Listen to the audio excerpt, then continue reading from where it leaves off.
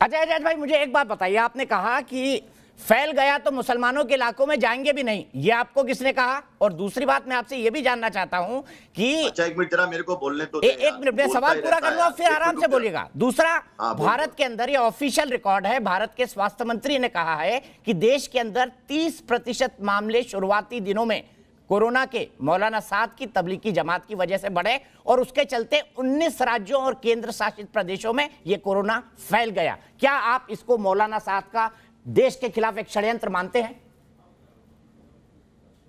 अभी सुन। एक सवाल तुझे सरकार से भी करना पड़ेगा। ठीक है करिए खुल के करिए। कि सरकार से तुझे यह सवाल करना पड़ेगा। पहले तो मैं अल्लाह का शुक्र मना लू कि या अल्लाह तेरा लाख लाख शुक्र है कि जो रिपोर्टर मुझे बोल रहा था कि मैं डी ग्रेड का एक्टर हूँ आज वो मेरी इतनी इंतज़ार कर रहा था लाइव पे लेने के लिए तो ये तेरा शुक्र है मेरे रब मेरे अल्लाह तेरा लाख लाख शुक्र है। और मेरी दूसरा मेरी इस बहस में मैं हर को आमंत्रित करता हूँ मेरे सबसे बड़े आलोचकों को भी आमंत्रित करता हूँ। अरे अभी सुनेगा कि रख दू फ़ोन में? ना, ना, बिल्कुल नुकसान हो जाएगा तेरा मेरा कोई नुकसान बो, नहीं बोलिए बोलिए बोलिए। हाँ मैं रख दूँगा तो तेरा नुकसान हो जाएगा। तेरे स्पॉन्सर ये, वो सब प्रॉब्लम में आ जाएँगे। तो सुन, सरकार से ये सवाल कर कि ये सारे के सारे इंडोनेशियन ये साउथ अफ्रीका से, ये सारे जमाती, ये वीज़ा और ये पास करके देश के अंदर कैसे आए? तो सिस्टम में उन लोग चेकिंग क्यों नहीं कर रहे थे कोरोना की? ये लोग कैसे दिल्ली पहुँचे? इंडोनेशियन मलेशियन ये सारे लोग दिल्ली कैसे पहुँचे? तूने ये सरकार से सवाल नहीं किया। तू सवाल सिर्फ़ करेगा जमातियों से क्योंकि तेरा घर चलता है हिंदू मुसलमान करने से। तेरी 200 बहस देखी मैंने। उसमें से सिर्फ़ पाकिस्तान और हिंदू मुसलमान और बाबरी मस्जिद और राम मंदिर पे तेरी बहस है। तू एकदम नल्ला रिपोर्टर है। लेकिन फिर भी फिर भी और वो तारिक फतेह से मैं कह दूँ कि तारिक फतेह तू ये पूछता है मुसलमानों से कि देश पहले कि ईमान पहले। तो मैं ये बोल दूँ कि तू ये तेरी ये आँख फोड़ेगा कि ये आँख फोड़ेगा? दोनों आँखें तेरे को चाहिए और दोनों आँखों से ही दिखता है वरना आदमी काना रहता है। नहीं दिमाग एक और होता तू है। पाकिस्तान का दिमाग एक होता है। तू पाकिस्तान से एक होती भगाया हुआ। तलाक नहीं आज़ाद भाई। नेशनल टेलीविज़न पर है। आप थोड़ा सम्मान से भी बातें रख सकते हैं। तू तलाक नहीं प्लीज़ यही रिक्वेस्ट करूँगा। अरे इस आदमी की मैं इज़्ज़त ही नहीं करता हूँ। एक नंबर का चोर है जो पाकिस्तान को धोखा दिया। ये पाकिस्तानी एजेंट है। अच्छा, इंडिया में हिंदू मुसलमानों को लड़ा रहा है। ठीक है। पाकिस्तानी एजेंट है। ठीक है एजाज एजाज आदमी। एजाज खान एजाज खान तारिक फतेह की तारिक फतेह की टर्न फिर आप जवाब दीजिएगा। तारिक जी बोलिए।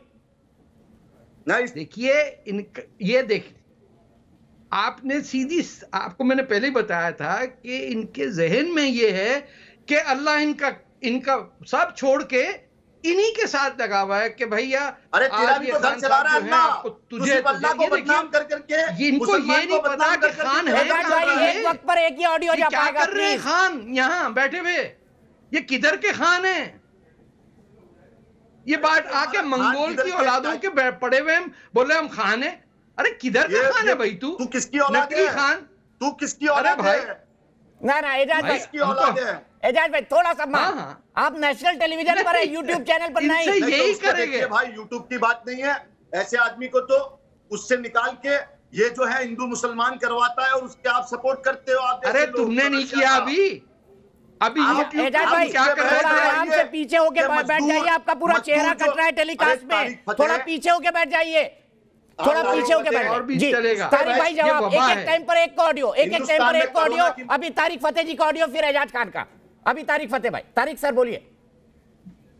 आप नोट करें कि एक गुफ्तगू करने का तरीका जो होता है, उसके अंदर भी मुँह फटा जा रहा है गुस्से से, और आपने यूट्यूब में देखा, वो खुद कह रहे हैं कि मेरी कौम जो है, वो उम्मत है। मेरा हिंदुस्तान से क्या ताल्लुक है? हिंदुस्तान पैसे देता है फ़िल्में, घटिया फ़िल्में देखता है और मैं दादागीर बन के यूँ चलता हूँ। और बात करने का तरीका ये तुझे तुझे ये कौन सा है ये कहाँ की जबान बोलते हैं ये लोग? ना मराठी है ना ये उर्दू है ना इंग्लिश है ना हिंदी है। ये वो स्मगलरों वाली जबान वो जो कराची में भेज दिया आपने क्या नाम था गुंडा आपका? दाऊद इब्राहिम। वहाँ बैठा हुआ है जावेद मियाँ आज़ाद का सुसर। दाऊद इब्राहिम छोटा दाऊद इब्राहिम ये वो दाऊद इब्राहिम का है जबान बोल रहे जो है ठीक है एजाज खान एजाज खान उन्होंने साफ़ साफ़ कहा एजाज खान सवाल सुन लो। उन्होंने साफ़ साफ़ कहा। को ये लड़वा रहा है। और मीडिया के सारे रिपोर्टर अल्लाह ने इज़्ज़त दी। चौरेसिया साहब तू भी बोलेगा एक दिन कि हिंदू मुसलमान मत करो। तू भी बोलेगा मेरे भाई क्योंकि तेरे भी बच्चे हैं तेरी भी बीवी है घर जाके सोता कैसे है यार मेरे भाई तू? बहुत चैन से सोता हूँ, एजाज खान। डिग- डिग करते रहता है मेरे भाई। थोड़ा अच्छा रहे यार। अच्छा मुझे ये बता दो मौलाना साहब ने गलती की कि नहीं एजाज खान मौलाना साहब ने देशद्रोह का काम किया कि नहीं? आप बताइए मौलाना साहब ने देशद्रोह का काम किया कि नहीं? देश के तमाम राज्यों और केंद्र शासित प्रदेशों में कोरोना फैलाकर इसका जवाब दीजिए। नहीं उन्होंने कोरोना नहीं फैलाया मौलाना साहब ने कोरोना नहीं फैलाया।